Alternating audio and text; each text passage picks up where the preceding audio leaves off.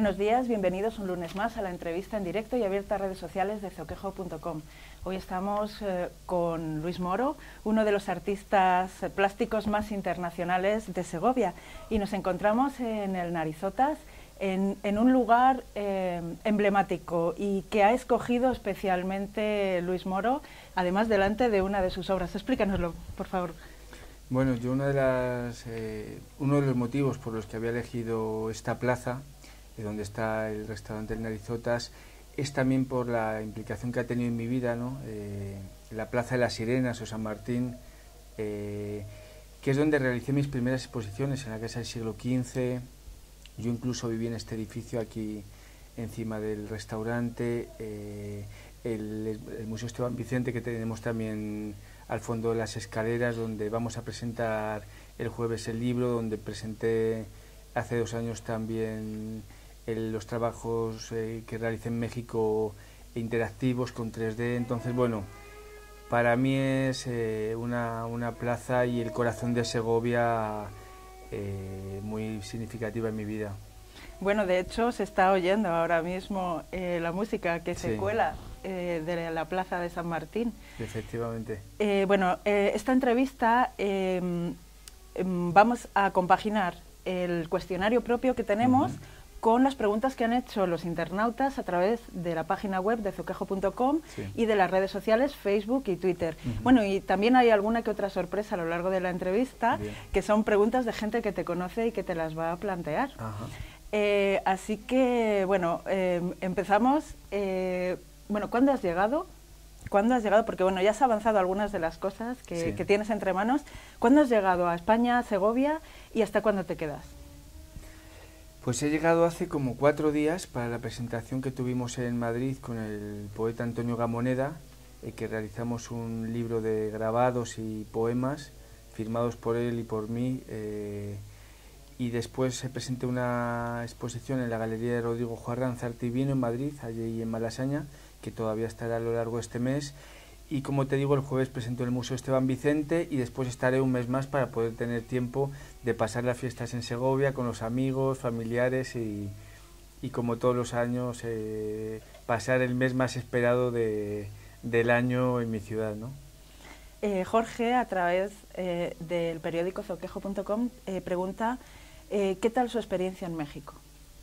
Bueno, mi experiencia en México está siendo una experiencia bastante enriquecedora obviamente México, como vemos en las noticias, no es un país nada fácil, pero por otro lado es un país en el que se están moviendo muchas cosas a nivel cultural, a nivel social, eh, a nivel medioambiental es el segundo país con mayor biodiversidad del planeta, entonces a nivel cultural es, es el encuentro entre nuestra historia y la cultura azteca, entre la cultura maya, eh, con lo cual yo creo que, la energía de México es una energía muy potente y que para el arte es eh, verdaderamente estimulante. ¿Qué proyectos has hecho a lo largo de, este año en México? Pues a lo largo de este año he estado preparando la carpeta con Antonio Gamoneda, he tenido una exposición en el Museo de Oaxaca, en el MUPO recientemente, estoy preparando una exposición para el Museo de la Ciudad de México el año próximo, y trabajando con galerías y diferentes espacios. Ahora vengo de una exposición en Mérida, en la Galería Lux Perpetua. Eh, la verdad es que continuamente me están surgiendo proyectos y, ediciones. ¿no? La edición, de hecho, que vamos a presentar en el Museo Esteban Vicente, que se llama La Cuenta Atrás, es, una, es un catálogo retrospectivo desde el año 91 al 2015 en el que presento proyectos eh, que he realizado tanto en España como en México. Salen obras de, que tuve en la exposición de La Granja, Reflejos, eh, Paraísos Elementales, la serie de la mariposa monarca, de los Quintles. Yo creo que es un resumen de, pues, de los últimos 20 años de, mi trayectoria pictórica. Eh, También has estado en Estados Unidos. Sí. háblanos un poquito. Efectivamente, este invierno también tuve una exposición en la Galería Grey Duck en, Austin, que es la capital de Texas, y es una ciudad también muy viva, ¿no? donde el ambiente universitario le da color a la ciudad, está llena de conciertos, eh, pasé por Nueva Orleans también, Eh, eh, tengo proyectado también una exposición en Houston para el año próximo. Presenté mi libro La cuenta atrás, aparte del Centro Cultural Español en México, en, en la Universidad de San Antonio, donde también viví un año y en Texas y ha quedado un buen sabor de boca. Reencontré a mis amigos. Para mí también estos eventos es una oportunidad de, el reencuentro con los amigos, con tu ciudad y con tu gente, ¿no? Y es quizá lo más importante de, de, estas presentaciones. ¿Se nota la diferencia en, eh, al, a la hora de acoger tu obra en México, en Estados Unidos, en Segovia, en, España? ¿Se nota? ¿Notas esas diferencias? Hombre, culturalmente cada, cada ciudad es un abismo, ¿no? México es una ciudad bastante anclada en el pasado, ¿no? Ahí ves eh, lo que fue la España colonial y también con miras al futuro, que es lo interesante. Hay, hay exposiciones desde eh, el arte prehispánico hasta lo más contemporáneo.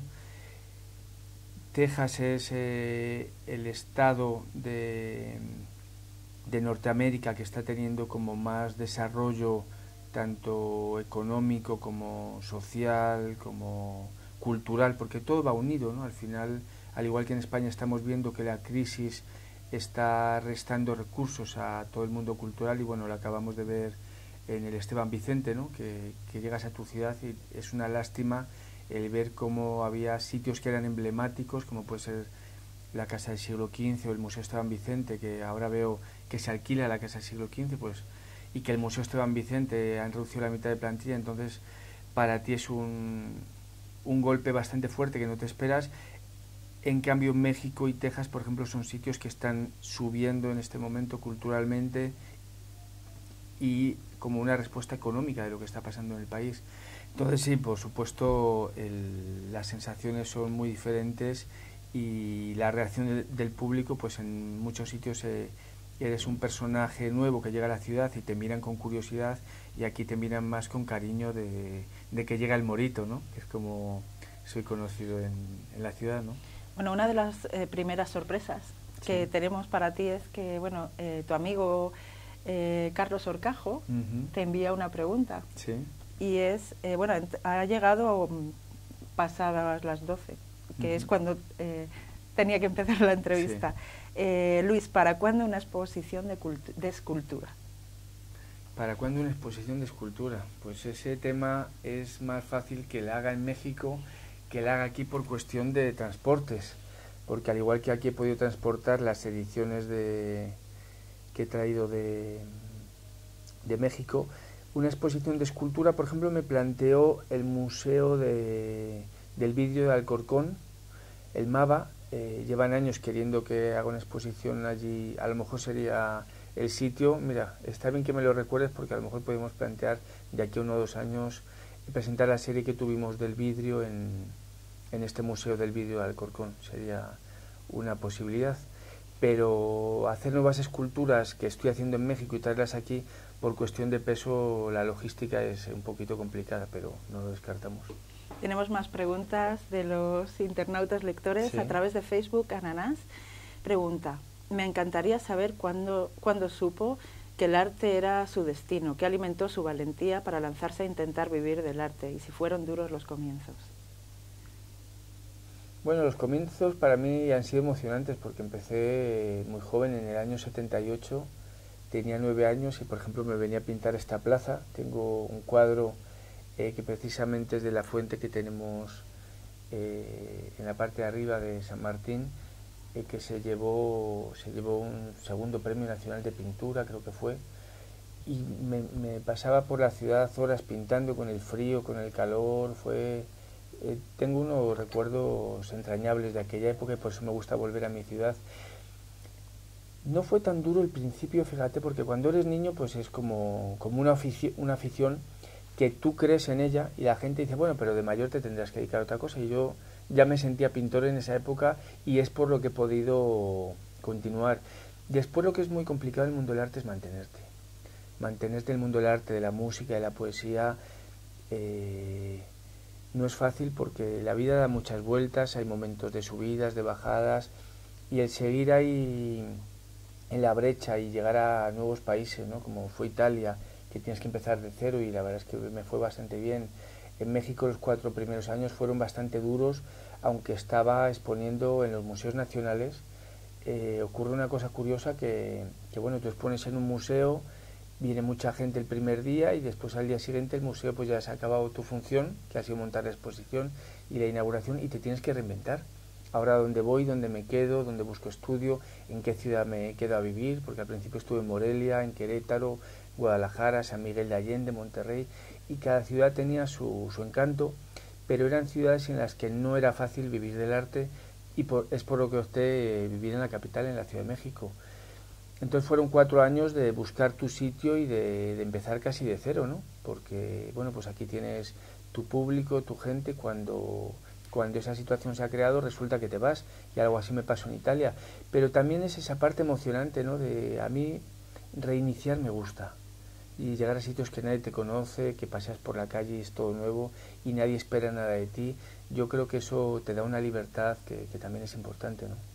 Eh, bueno, la verdad es que, que esta nana ha planteado unas preguntas maravillosas que yo voy a trasladar porque algunas de ellas tienen que ver con lo que estás comentando. Uh -huh. eh, le preguntaría si en sus comienzos ha tenido la ayuda de alguien que moviera su obra, una especie de mecenas, o se lo ha trabajado todo solo, usted solo, eh, tú solo. Sí, sí. Bueno, la verdad es que mi, mi carrera ha sido bastante autodidacta en todos los sentidos, porque no he tenido un manager que me dijera te llevo aquí a, a Italia, te llevo a Francia, te llevo a Bélgica. He trabajado con diferentes curadores y con diferentes galeristas a lo largo de mi vida que han sido realmente importantes, pero que he tenido la libertad de dirigirme hacia donde quisiera. Como te comentaba en mis inicios, eh, trabajé con la Casa del Siglo XV, eh, gente que para mí son entrañables, me dieron buenos consejos, me dijeron que tenía que salir de Segovia, que conocer el mundo. Eh, después me fui a París, a la aventura, a Berlín, a Praga. Eh, viví en Italia con el, con el, que trabajé también con un galerista en Roma y ahí me movió exposiciones eh, en varias ciudades, en Milán, en Catania, el galerista Angelo Florio. Eh, después fui a México y comisarió la exposición Eliseo de Pablos. Eh, después seguí yo por mi propia cuenta, eh, trabajando, haciendo propuestas a galerías, a museos. Eso me ha dado una gran libertad, porque también cuando tienes un manager exclusivo que te, que te lleva, pues por un lado tienes eh, una garantía y una seguridad, pero por otro lado estás expuesto un poco a lo que te vayan diciendo. Y yo creo que, que en un mundo tan complicado y tan duro como este, que tienes que echar el 120% de tu energía en ello, si es alguien el que te va imponiendo la ruta, no lo haces de la misma manera que eres tú el que te metes en todos estos líos y dices, pero bueno, ahora por ejemplo he venido a España y en 10 días he tenido tres presentaciones, ¿no? Digo, pues a veces es un poco una carrera desenfrenada, ¿no? Como mi serie de los ciegos corredores, que, que son caballos que corren desenfrenados hacia, hacia una meta a veces invisible, ¿no? Pero eres tú el que tienes esa ilusión y ese estímulo y yo creo que eso es fundamental para se nota en la pintura y en tu arte ¿no? siempre que he hecho una, obra se ve que ha sido sentida aquí por ejemplo eran obras sobre esta plaza sobre las sirenas y yo creo que, que eso se transmite en el arte cuando una obra es un encargo y cuando una obra la has querido tú hacer y te han dicho haz lo que te guste pero haz algo sentido ¿no? yo creo que es lo fundamental en el arte seguimos con las preguntas porque este tipo, este formato de entrevistas tienen sentido cuando, cuando los lectores eh, son los que interactúan sí. con, con, las personas entrevistadas. En este caso tenemos esa suerte. Uh -huh. eh, ¿Consideras que viajar, pone, Ananas vuelve a preguntar, ¿consideras que viajar, poner el cuerpo, experimentar, es un ingrediente indispensable para crear tu imaginario pictórico o habrías creado tu universo incluso encerrado en una celda toda tu vida? Yo creo que ambas cosas es posible, pero está claro que la creación es diferente. Por ejemplo, ha habido poetas ¿no? como, como Pessoa, ¿no? que tuvieron una vida ahí bastante intim, intimista en la ciudad de Lisboa y no fue un hombre viajero no, y creó una poesía de una, de una gran profundidad. ¿no? Y ha habido pintores, poetas que, que hemos sido... Eh, más trashumantes, que hemos viajado de un país a otro, que nos hemos ido empapando en diferentes culturas, con lo cual va quedando un poco el pozo de cada ciudad por la que vas pasando cada paisaje que ves, eh, las vivencias eh, interiores se van plasmando en tu trabajo. Eh, yo me siento un poquito cercano a Andrés Laguna, ¿no? que siempre digo que Andrés Laguna, si no hubiera viajado en ese momento por la Inquisición y por una serie de circunstancias que, le hicieron doctoras en París, pues hubiera sido un, médico segoviano que hubiera podido ser un buen médico, pero no hubiera tenido la trascendencia que hubiera tenido. Lo que está claro que en tu carrera y en tu proyección el viajar va dejando huella en diferentes países y eso es fundamental, ¿no? Bueno. y va eh, llevando el nombre de tu ciudad también por diferentes sitios, que ello es una cosa de la que me siento orgulloso. Yo siempre eh, me defino como un pintor segoviano, ¿no? Aunque tengo un espíritu latino, porque esa parte que vivió en Italia, en Francia, en Bélgica, en Portugal, en México, pues hace que con el mundo latinoamericano me sienta, me sienta en casa, pero siempre me defino como, como segoviano. Bueno, aquí llega otra de las sorpresas de la entrevista y es que el escritor Ramón Mairata, al que a menudo citas y está presente también a lo largo de tu obra. Efectivamente, en la publicación del Dioscorio junto con Gamoneda. Pues eh, lo hemos pillado eh, hoy estaba eh, trabajando en su nuevo libro en, la, en, la, biblioteca de la Filmoteca de Madrid. Está escribiendo un libro sobre la fantasmagoría, que es una especie de espectáculo de imágenes en movimiento previo al cine. Eh, bueno, él te envía un fuerte abrazo y te envía una pregunta también. Y es que es la siguiente. Hay unos seres que habitan mayoritariamente en nuestro planeta a los que nunca prestamos atención. Son los insectos que son protagonistas en tu obra. ¿Por qué te fascinan y qué has aprendido de ellos? Bueno, yo de los insectos he aprendido que, que toda la magia del universo ¿no? se puede concentrar en, un ala de, de, una libélula, todas las estructuras universales.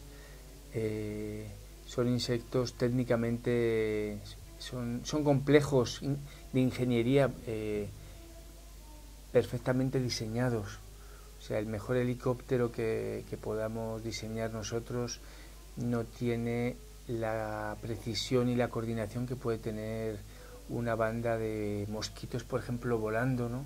que nunca se van a chocar, que siempre van a tener el ajuste perfecto, el equilibrio, la suspensión, y de hecho desde la época de Leonardo da Vinci hasta nuestra época siempre ha sido una inspiración para la tecnología y en, en concreto en mi caso en el arte. Es curioso, por ejemplo, que yo ahora vengo de exponer en el Museo de Oaxaca, en el MUPO, donde también toda la, todo el mundo de los artrópodos, la, entomofagia, eh, ha tenido una importancia en la alimentación, en el arte, en su simbolismo y quizás hay, una comunión, ¿no? Creo que por eso en México también todo mi trabajo ha sido muy, muy comprendido y también eh, asimilado porque pues ellos tienen una tradición milenaria en el mundo animal en, en concreto y en el mundo de los insectos, eh, como te digo, hasta a nivel culinario, gastronómico. Incluso tienes también una serie de animales, de insectos venenosos. ¿Solo insectos o otro tipo de, de animales venenosos? He hecho varias series, una, una sobre insectos, que era la serie Entomofagia, que era sobre las 500 especies de insectos comestibles que se dan en México. Otra serie, por ejemplo, sobre el bestiario del Dioscórides, que ahí era también eh, sobre la materia medicinal y venenos mortíferos, que ahí donde supongo que te referías al tema venenoso, y que ahí hablaban desde el caballito de mar, que es un tema recurrente en mi obra, desde mm, los caballos, los huevos de gallina, hablaban de todo tipo de las cantáridas, eh, hablaba de todo tipo de animales y las propiedades medicinales y comentaba Andrés Laguna que las partes de cualquier animal sirven para infinitas cosas, salvo aquellas del hombre que para ninguna útil son buenas, sino para mil maldades y hechicerías. Entonces eh, te, explican que el mundo animal la verdad es que tiene eh, infinitas posibilidades y se puede aprovechar pues desde la época de Nerón, ¿no? que ahí estaba el médico Dioscoro, eh, viendo estas propiedades medicinales, hasta la representación artística, que es un poco hacia donde yo me he dirigido. Eh, Ananas también pregunta sobre este asunto, porque eso es que conoce tu obra. ¿Por qué animales, insectos, creen la magia en los símbolos y las señales? ¿Considera su pintura un medio para relacionarse con lo metafísico? Por supuesto. Yo creo que desde la época prehistórica el artista era algo más que un decorador de cuevas, sino que era un chamán, ¿no? Un chamán que estaba conectando con el universo y estaba mandando señales y recibiendo. Yo a lo largo de estos años he visto muchas casualidades y coincidencias de obras que he pintado y de cosas que después han ocurrido que yo ni sabía. Pero lo que es cierto es que con el arte conectas con otro tipo de vibración eh, que tú desconoces, pero que conecta con, ese, con esa parte de la mente que tenemos poco desarrollada, pero el potencial está ahí. Entonces el arte, la música, yo creo que siempre está por encima de, la persona. O sea, yo creo que, que, cualquier gran artista, por ejemplo, Beethoven, Mozart, el propio Van Gogh, era más importante su arte que su propia persona. Pues muchas veces estaban infravalorados en su época y en su contexto, porque la gente veía a una persona con, con, las limitaciones que todos tenemos, ¿no? pero después su obra quedó, quedó en la historia. Entonces yo creo que ellos tienen otra conexión. Cualquier persona puede conectar con esa parte profunda que tienes que como bucear. ¿no? A mí es un mundo que me fascina, el mundo subacuático. Ahora vengo de Yucatán de bucear y te das cuenta que no es todo lo que vemos en la superficie, sino que te vas a la profundidad del mar y, y hay otro planeta, en otro universo con el, con el alma ocurre algo así. De hecho, yo siempre me considero que no soy un pintor animalista, sino que soy un pintor animista. Voy detrás de esa parte del alma escondida. ¿no? Em, en tu blog eh, dices que los animales son un pretexto para hablar de otras cosas, aunque el universo cuenta una de ellas en cada pequeño ser.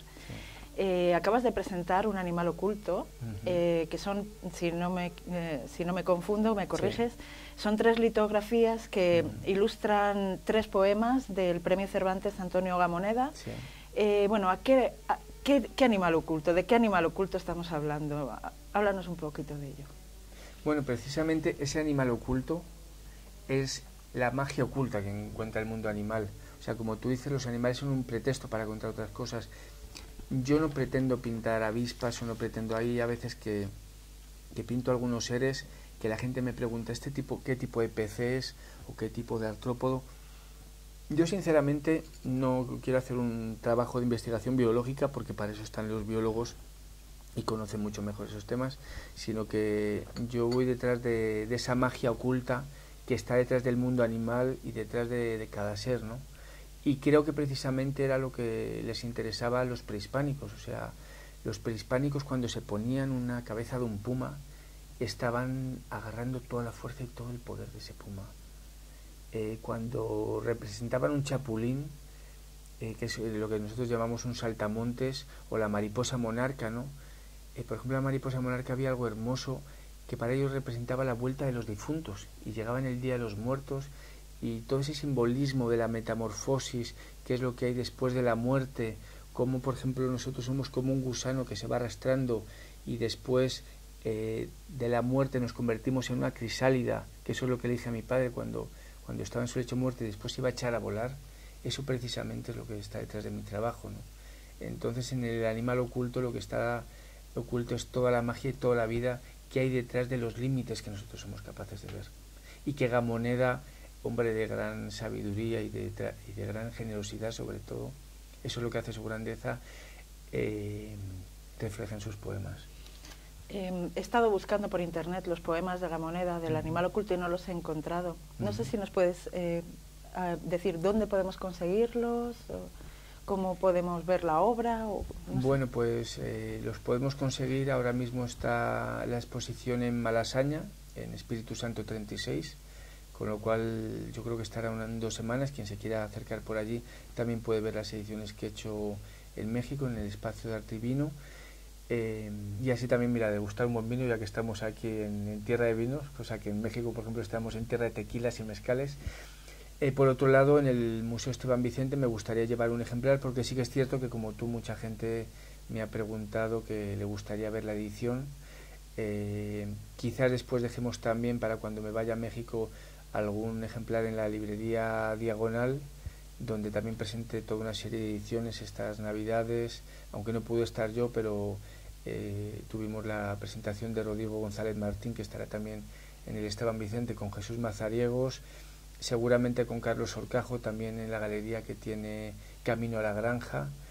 eh, al lado del campo de golf, también tendrá algún ejemplar. Entonces, bueno, yo aunque me voy, por suerte, eh, parte de la obra queda aquí, sobre todo lo que queda aquí es mi corazón, porque me voy de Segovia, pero una parte siempre queda, queda en la ciudad. Entonces me parece bonito el poder colaborar eh, con gente, muchas veces también en la galería de Antonio Fontanar, en Riaza, vamos a ferias juntos, se quedan obras ejemplares. Yo creo que quien me busque en Internet, en el Facebook, en las redes sociales, en, en la página web, va a poder ver dónde, dónde tenemos eventos, dónde hay obra y no es, no es tan complicado.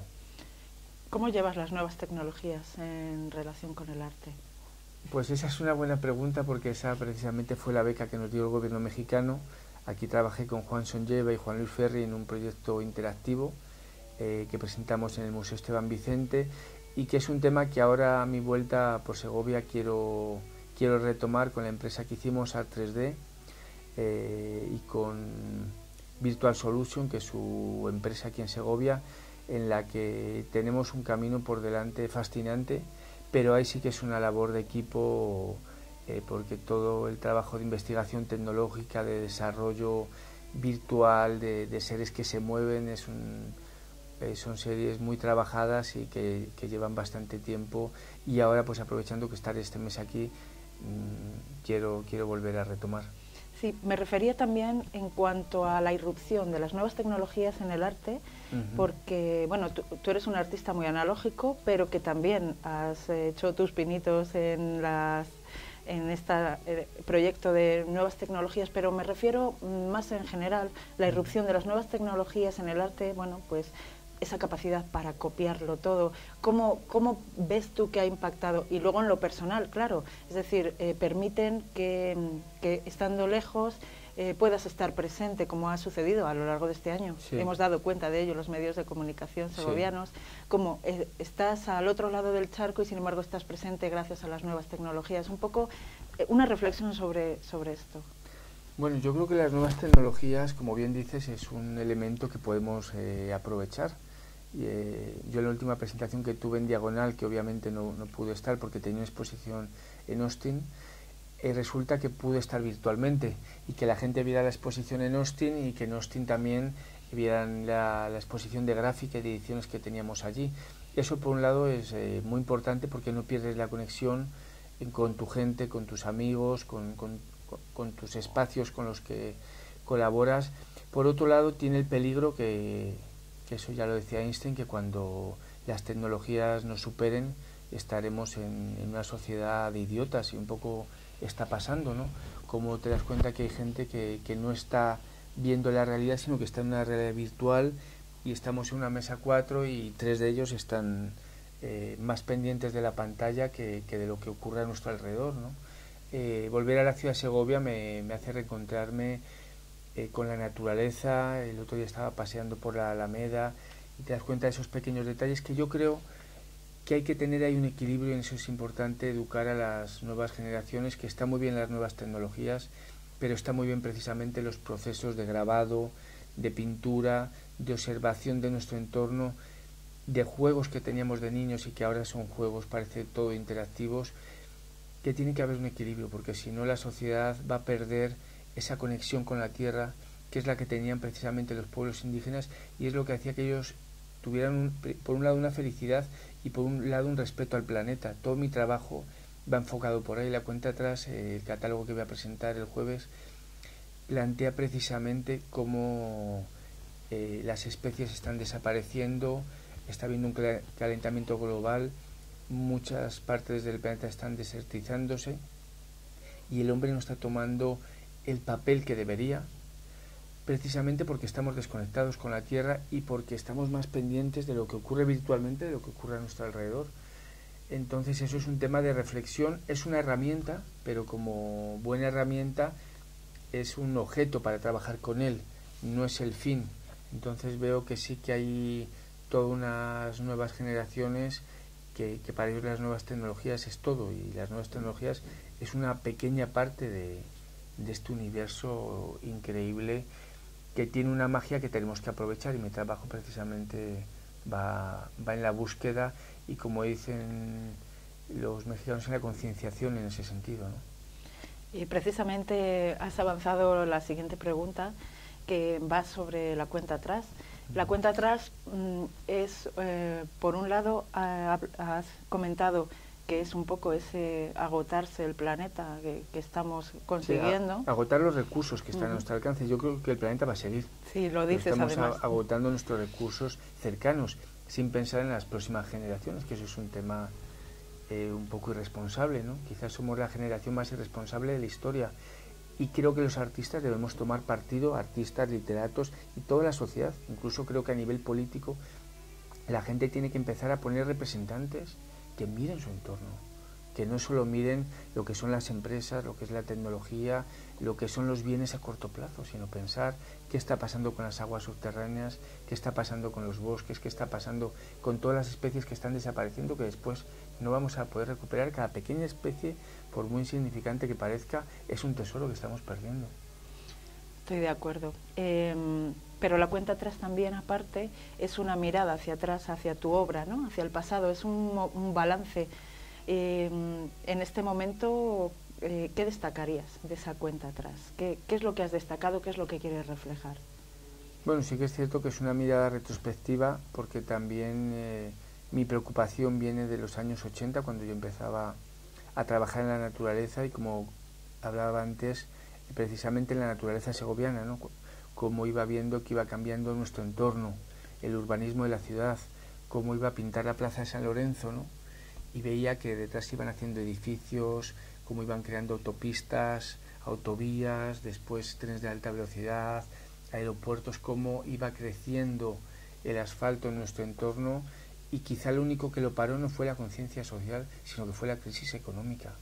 Entonces es un poco triste ver cómo nos para la necesidad, no nos para la, educación, no nos para la sensibilidad hacia nuestro entorno. Y creo que de la crisis hay muchas cosas que tenemos que aprender y tener planteamientos diferentes hacia problemas diferentes. Y eso es lo que no estamos. Estamos queriendo aplicar los mismos conceptos a problemáticas que nos están surgiendo y no. O sea, el hombre ahora tiene que decir, a ver, estamos en esta nueva situación y vamos a tener un acercamiento al planeta de una manera diferente. Y esto lo están teniendo muy pocos países, como puede ser Costa Rica, por ejemplo. Leí ayer que, Costa Rica es el único país que no tiene ejército y que está cuidando su medio ambiente. Entonces, ¿qué queremos? ¿Hacer guerras o hacer un entorno mejor? ¿no? Eh, crear policía, ¿no? como está pasando en México, que lo que están haciendo en vez de solucionar los problemas sociales, y en España también está pasando, y, y meter más seguridad para que la distancia entre el rico y el pobre sea mayor y nuestra respuesta sea policial o sea del ejército o, o, realmente dar unas respuestas a la sociedad de lo que está pasando y hacer una sociedad más justa. Porque en México estamos viendo lo que puede pasar aquí en 20 o 30 años. Se están creando complejos blindados para gente de un altísimo poder adquisitivo para que los pobres no vayan allí a robarles un mendrugo de pan. Entonces dices, están los secuestros, están eh, la inseguridad, pero claro, ¿por qué ocurren los secuestros? Que es una cosa eh, que es tremendamente terrible, el que secuestren a un familiar, pero hay que ponerse en la solución de decir, ¿qué vamos a hacer para que esto no ocurra? Y el tema de las armas está parando momentáneamente ese problema, pero no está dando solución. Entonces yo creo que realmente nos tenemos que sentar y plantearnos las causas de los problemas. ¿no? Y eso es en lo, que creo que, que, el mundo artístico, literario y, y, tal tiene una gran responsabilidad. Yo, por ejemplo, el otro día hablando con Gamoneda, él me decía, pues él viene de, de la época del franquismo, ¿no?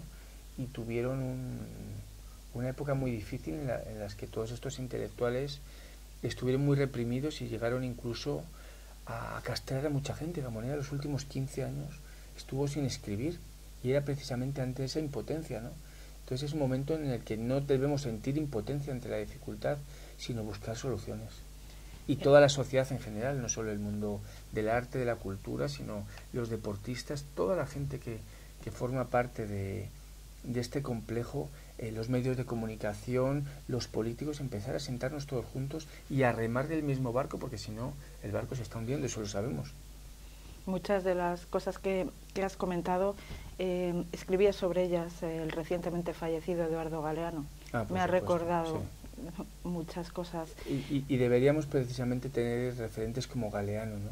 porque te das cuenta que en la época de Andrés Laguna, yo siempre lo digo, los referentes eran personajes como Laguna, como Nostradamus, eh, como Leonardo da Vinci, gente que tenía una cultura increíble. Y gente que, por ejemplo, en la ciudad de Metz contrataban a Andrés Laguna por cuatro años. Y eran los fichajes de la época. Ahora los fichajes son futbolistas que muchas veces lo que saben es dar patadas a una pelota y mantenernos distraídos. Cosa que está muy bien, pero no son referentes. Gente como Galeano, eh, gente como, estábamos diciendo, como Gamoneda, como Saramago. Gente que tiene de verdad una preparación en todos los sentidos ¿sabes? Tanto artístico como astrológico, como... Son verdaderamente los referentes que deberíamos escuchar en los medios de comunicación y que muchas veces se quedan ahí eh, relegados a un segundo plano y que gracias a las redes sociales podemos escuchar sus entrevistas, su legado, su testimonio, que yo creo que eso es lo que nos va a hacer eh, Elena Poniatowska, que estuve recientemente con ella en México, y que es gente que toma partido incluso con lo que está pasando con los desaparecidos de México, con, los problemas medioambientales, con el maíz transgénico. Por ejemplo, el maestro Francisco Toledo, el, gran pintor mexicano, con el que expuse también en su Toledo, cómo tienen una lucha social y de conciencia para defender el maíz autóctono en México, que tienen maíz negro, eh, violeta, amarillo, o sea, tienen como 40 especies autóctonas y llega Monsanto, se carga todo eso y quieren poner un maíz que se va a cargar el, resto de cultivos, que se están cargando las abejas, que son fundamentales para la polinización y para todo el mundo la alimentación. Entonces dices, estamos en un mundo que la gente que está hablando de esto es como que enfocamos la cámara hacia otro sitio y decimos, vamos a ver la final de la Champions y eso sí que lo mira todo el mundo, cosa que está muy bien. Yo no quito que ese sea un, un entretenimiento, pero no podemos, no puede ser una parte de distracción para que no veamos en el mundo en el que estamos y en el mundo que tenemos que tomar respuestas ya. Y estamos en una cuenta atrás, ya estamos en el número 4, ya no estamos en el 9 como antes, nos queda el 3-2-1, entonces, pues o, los países se reúnen, pero los países se van a reunir en cuanto a la gente empiece a ver que piden a los políticos una serie de cambios y una serie de, de, intereses y de cuidar nuestro entorno, porque nuestro entorno es el legado que dejamos a nuestros hijos y a nuestros nietos. Eh, bueno, has comentado la crisis y mm, eh, Segoviano pregunta, eh, con respecto, bueno, la crisis, lo has comentado antes también, ha impactado de lleno en el Museo de Arte Contemporáneo Esteban Vicente, que está aquí muy cerquita. de donde... también tenemos otra cuenta atrás. Ahí estamos en el número, en vez de en el 4, en el 3. Y mm, Segoviano pregunta, Luis, como artista internacional, igual que Esteban Vicente, ¿qué te parece lo que está sucediendo con el museo? Muchas gracias y enhorabuena por tu trabajo. Bueno, yo creo que lo que está ocurriendo en el museo nos tiene que hacer reflexionar. Por un lado, hemos perdido la Casa del siglo XV, que fue una oportunidad histórica de, conservar un centro cultural, una galería emblemática que eh, tenía un gran respeto y un gran reconocimiento a nivel nacional. Y ahora estamos a punto de perder el Esteban Vicente, cuando se ha suprimido a la mitad de la plantilla, cosa que es eh, una tragedia para la ciudad de Segovia y se ha suprimido también todos los servicios educativos que estaban dando a, a los niños, a las escuelas, y se ha suprimido, eh, está a punto de caer un puente que es eh, de la cultura nacional e internacional a, nuestra ciudad. Yo en el Esteban Vicente he tenido la ocasión de conocer y estar de cerca eh, pues con artistas como Miquel Navarro, Miquel Barceló, Sicilia, el propio Gamoneda en conferencias, ver eh, espectáculos de títeres, que el titirimundi es otra de las cosas que también en nuestra ciudad es fundamental. Creo que tenemos que tener una reflexión y debe haber un, encuentro en la ciudad con la gente que, está viviendo aquí y que realmente está apoyando a la cultura, qué es lo que se puede hacer antes de que el barco se hunda. Porque esto eh, asusta decir, parece que algo se viene abajo y todavía yo creo que hay que recuperar. Y la ciudad tiene que, tomar un partido antes de que empecemos a perder las cosas que tanto tiempo han costado en recuperar. Hacer una galería como la Casa del siglo XV va a ser casi imposible, porque ellos estuvieron 39 años poniendo una piedra, otra piedra, otra piedra, en un momento histórico que fue complicado, pero había unas oportunidades de traer a gente como equipo crónica, como chillida, como... Entonces eso ya es irrecuperable prácticamente. La labor que ha hecho el museo no se puede perder porque después levantar otro museo con este prestigio, con estos premios, con, con esta gente que ha pasado por aquí, no se puede dejar perder porque después van a venir otras situaciones, pero no esa. Entonces Segovia, que yo creo que su potencial es la cultura, tiene que apoyar no solo al Museo Esteban Vicente, sino al Teatro Juan Bravo, a Titirimundi, a las iniciativas privadas, por ejemplo lo que hizo Carlos Orcajos, que también cerró la reja, lo que hicieron la Casa del Siglo XV, lo que han hecho todas las galerías, todos los festivales como el High Festival, como creo que Segovia esa es su riqueza y de la que se nutren los hosteleros, se nutren los hoteles, los restaurantes y la propia ciudad, o sea, de, Segovia. Yo cada vez que viajo estoy viendo y me siento orgulloso de que hay cada vez más segovianos por el mundo. el otro día estuve con Rebeca Jiménez en México, que tuvo una serie de conciertos, están saliendo titiriteros, están saliendo escritores, José Antonio Gómez Municio, que ahora está en el Conde. Ha salido tanta gente de aquí, que eso es gracias a las semillas de estos centros que no podemos perder. Por ejemplo, también el Ayuntamiento de Segovia está con la cárcel. Son cosas que no hay que perder, porque son ideas que en su momento cuestan mucho esfuerzo, pero tienen también beneficios para la ciudad y muchas veces, aunque no se vea a corto plazo, sí a medio y largo plazo. La Casa del siglo XV, si hubiera querido ver beneficios en los años 60 y 70, no los había tenido. Pero después en los años 80, en los años 90, todo eso eh, como que floreció en la ciudad. Entonces ahora son pequeñas semillas que no podemos pisar, hay que seguirlas regando, aunque parezca que hay un esfuerzo, pero la ciudad, yo veo que, que llegas a Segovia y tiene un turismo, tiene una reputación cultural que no podemos dejar perder. Creo que son eh, serían daños irreparables. Eh, bueno, vamos a,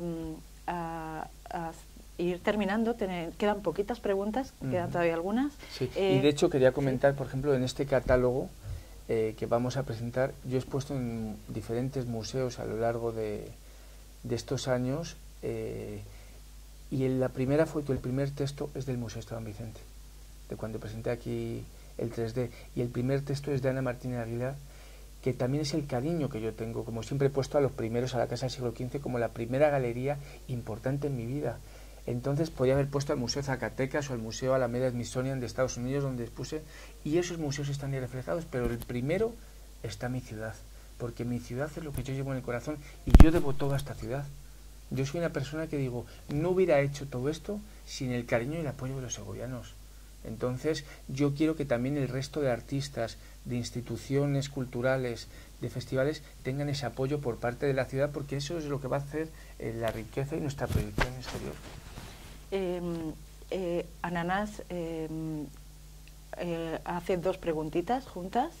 Em, soy pintora, intento vivir de ello. ¿Qué consejos me darías en general? Y, y además, ya entronco con esta otra pregunta, ¿Echas de menos Segovia? Eh, tiene que ver con lo que estás diciendo. La ciudad ha influido en tu manera de pintar. Y para terminar, eh, darte la enhorabuena por tu obra sutil y mágica. Gracias. Bueno, el primer consejo que yo daría es que se emocione con su trabajo. Hoy en día muchas veces los jóvenes dicen, ¿cómo puedo hacer para triunfar? Yo creo que el triunfo en la vida es el realizar un trabajo que a ti te gusta. Yo después de 30 años pintando, incluso hasta más, desde el 78 no he echado cálculos, pero serían treinta y tantos, eh, para mí la satisfacción es que sigo con ilusión en cada proyecto. Tú si te imaginas cómo eh, pensaba este proyecto de Gamoneda, que es un poeta en el que en el año 99 le habíamos citado en el Dioscorides precisamente con Ramón Mairata, que hace una de estas eh, preguntas, y su libro de los venenos, y cómo hoy en día el ver que estoy con el premio Cervantes, realizando un sueño que tuve, cómo todo es posible, pero gracias a conservar la ilusión. Entonces, si tú te emocionas, vas a tener ilusión, y si tienes ilusión, la vas a transmitir. Y al final, el éxito va a ser ese. Yo en los momentos que me va mejor o me va peor, no cambia mi estado de ánimo de felicidad, porque mi estado es precisamente qué es lo siguiente que voy a hacer, cuál es... Eh, mi plan, que si, si pierdes los proyectos y los sueños has perdido todo por mucho dinero que estés ganando. Y eso se les ve a algunos artistas que de repente se están repitiendo, repitiendo, haciendo. Y cuando les hacen un catálogo antológico dices, pero si ha pintado el mismo cuadro con diferentes colores toda la vida, ¿no?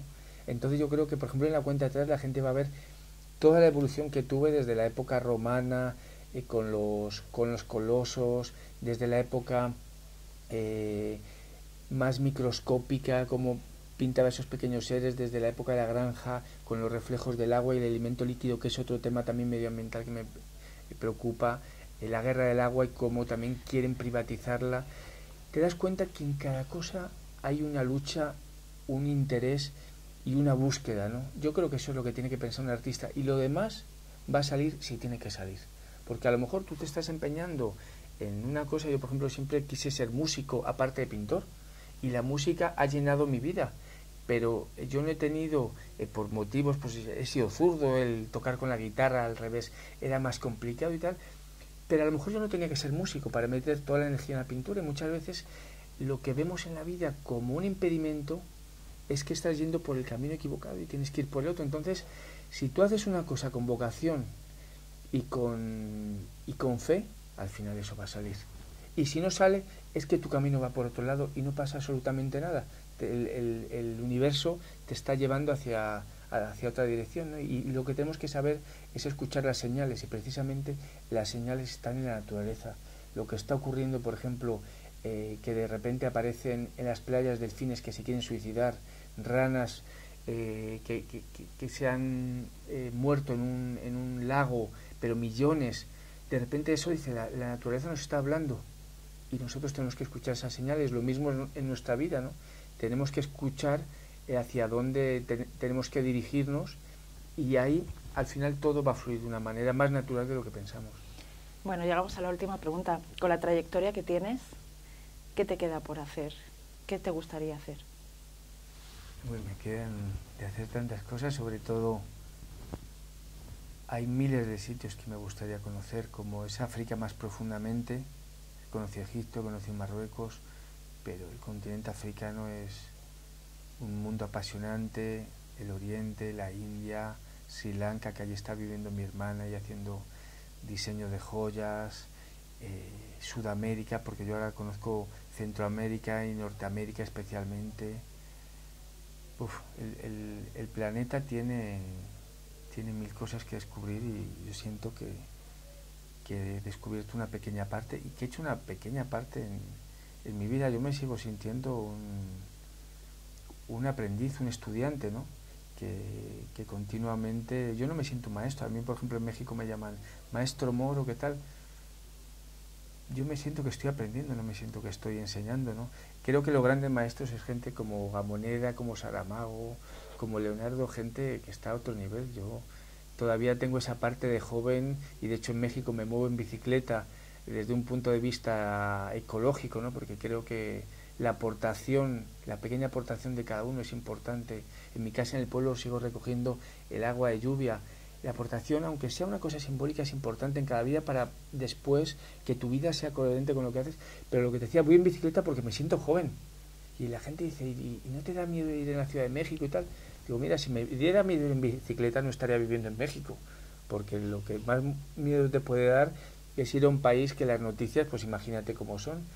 Y el día que me deje de sentir joven, pues entonces a lo mejor dejaré de aprender, pero yo todavía sigo aprendiendo. Ahora he estado en Yucatán, he estado buceando, he estado eh, nadando con la, con la ballena tiburón. Yo me sentía un niño yendo al lado de un cetáceo que, que medía 20 metros y que, y que dices, esta es la magia de la vida. ¿no? Entonces yo creo que me queda todo por delante. Yo siento que no he hecho más que una pequeña parte, porque cuando vas a una ciudad como la Ciudad de México, ¿no? que tiene 24 millones de habitantes contando lo que es la metrópoli y su entorno, y te das cuenta que no eres nadie, que tienes otra vez que buscar un espacio y, y ahí irte haciendo hueco poquito a poco, te das cuenta que el que se crea que ha hecho algo, vete a una gran ciudad y, te das cuenta que somos pequeñas hormigas, que de eso va mi trabajo, ¿no? en medio de una tormenta de arena. Muchas gracias, Luis. A vosotros. hasta aquí la entrevista en directo y abierta a redes sociales de soquejo.com, desde este lugar emblemático como es la Plaza de Medina del Campo, de San Martín, junto a la estatua de Juan Bravo, las sirenas, delante del, del cuadro de Luis Moro y bueno, y con la música del pelujo como banda sonora durante buena parte de, la entrevista. Que, también forma parte de la historia de esta ciudad, ¿no? Junto con Juan Bravo y los comuneros, recientemente escuchaba eh, el Día de Villalar, la canción que hicieron sobre los comuneros, que también fuera de tu país te sientes orgulloso de tu tierra ¿no? y de nuestra historia, ¿no? Eso es. Así que bueno, les esperamos el próximo lunes en una de estas entrevistas. Hasta entonces.